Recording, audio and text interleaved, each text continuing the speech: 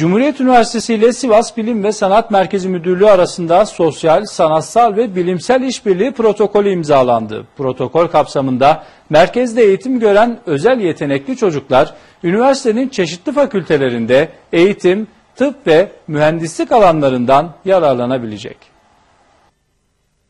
Cumhuriyet Üniversitesi ile Sivas Milli Eğitim Müdürlüğü arasında sosyal, sanatsal ve bilimsel işbirliği toplantısı gerçekleştirildi.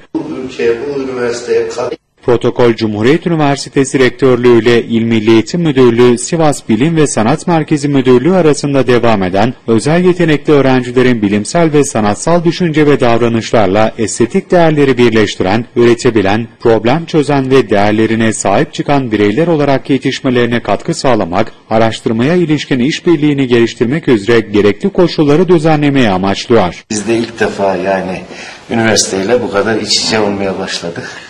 Rektörlük makamında gerçekleştirilen imza töreninde konuşan Rektör Profesör Doktor Halim Yıldız, yetenekli öğrencilerin üniversitenin çeşitli fakültelerinde eğitim, tıp, mühendislik alanlarında yararlanmasını istediklerini söyledi. özel yetenekli öğrencilerimiz var. Çeşitli okullardan, çeşitli sınıflardan orada eğitim görüyorlar. Bu öğrencilerimizin üniversitemizin çeşitli alanlarında, çeşitli fakültelerinde, eğitim fakültesinde, mühendislik, tıp gibi alanlarda yararlanmasını istiyoruz.